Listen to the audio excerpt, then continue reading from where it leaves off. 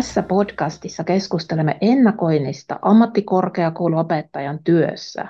Pohdimme myös sitä, mitä ennakointitieto on, mistä sitä saa ja miten ennakointitietoa käytetään.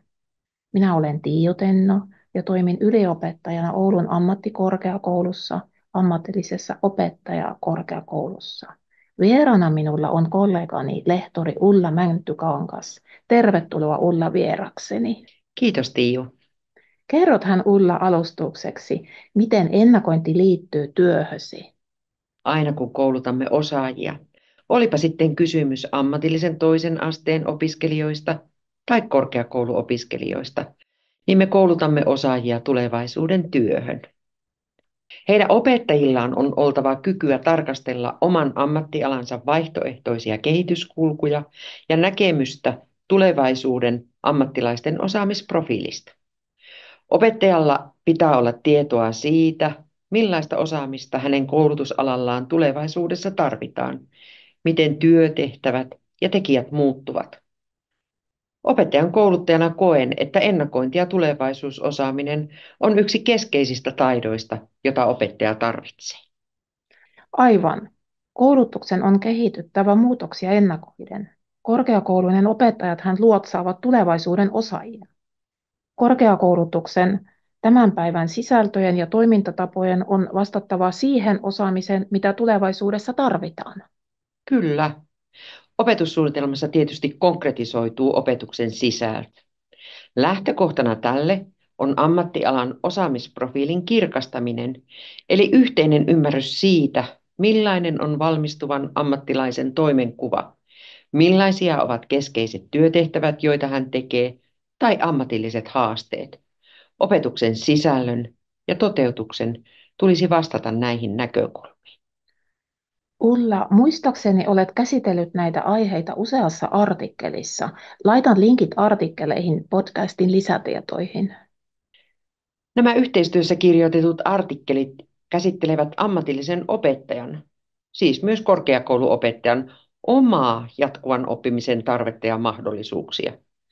Opettajan on kyettävä tarkastelemaan omaa osaamistaan suhteessa ammattialansa ennakointitietoon. Vastaavatko opetukseni sisällölliset ja pedagogiset ratkaisut tulevaisuuden ammattilaisten osaamistarpeisiin? Keskustellaan tovi siitä, mitä sinun mielestäsi ennakointikyvykkyys ja tulevaisuusosaaminen sitten opettajan työssä tarkoittavat? Se on mielestäni sitä, että opettajalla on ymmärrys ja tieto siitä, miten hänen ammattialallaan työelämän osaamisvaatimukset tai työtehtävät muuttuvat. Ensisijaisena lähtökohtana tulevaisuusosaamiselle pidän tiivitä suhteita työelämään ja jatkuvaa vuoropuhelua työelämän edustajien kanssa. Lisäksi se on kyvykkyyttä hankkia ennakointitietoa ja ennen kaikkea kykyä hyödyntää sitä sekä oman opetuksen sisällössä että pedagogisissa ratkaisuissa. Kerrotko Ulla, mistä saan ennakointitietoja opetussuunnitelmatyöni perustaksi? Ennakointitiedon järjestelmät ja saatavuus ovat valtavasti kehittyneet. Personoituja hakuja esimerkiksi eri ammattialoilta on helposti saatavilla. Pelkkä ennakointitieto ei kuitenkaan riitä. Tietoa tulee käsitellä yhteisen ymmärryksen luomiseksi siitä, mikä on olennaista ja tärkeää tulevaisuuden kannalta omalla koulutusalalla. Jotpan osaamistarvekompassi, osaamisen ennakointifoorumin kokoama aineisto tai vaikka työ- ja elinkeinoministeriön työvoimabarometri ovat erinomaisia tiedonlähteitä. Niillä ainakin pääsee alkuun. Voisitko kertoa joitakin esimerkkejä siitä, millaisia ilmiöitä ennakointitieto käsittää? No tuttua jo on, että digitalisaatio, tekoälyn hyödyntäminen ja vihreä siirtymä kiihdyttävät muutosta työelämän menettelytavoissa. Ajankohtaisia muutosilmiöitä edellisten lisäksi ovat vaikkapa energianmurros ja turvallisuusuhkien lisääntyminen. Otetaan yksi esimerkki. Miten aloittaisin opetussuunnitelman kehittämisen opettajatiimissämme ennakointitieto huomioiden? Voisitte tarkastella opetussuunnitelmaa kokonaisuutena. Seuraavien kysymysten äärelle voisi pysähtyä. Mitä ammattialanne tulevaisuuden osaajan työstä tiedätte? Ja miten se näkyy osaamisteemojen tai opetuksen sisällöissä? Millaisia tulevaisuuden osaajia teiltä valmistuu? Toisin sanoen, millaisiin tulevaisuuden osaamistarpeisiin heillä on valmiudet? Ja miten pedagoginen toimintanne on tukenut näiden valmiuksien hankkimista? Tämä kuulostaa haasteelliselta. Pitäisikö minun osata huomioida alueelliset vai jopa globaalit osaamistarpeet? Varmasti molempia tarkastelukulmia tarvitaan. Jatkuvan oppimisen palveluissa, eli työelämälle suunnatuissa koulutuspalveluissa, korostuvat usein akuutit, jopa alueelliset osaamisen kehittämisen tarpeet. Riittääkö minun opettajaosaamiseni tähän ennakointityöhön?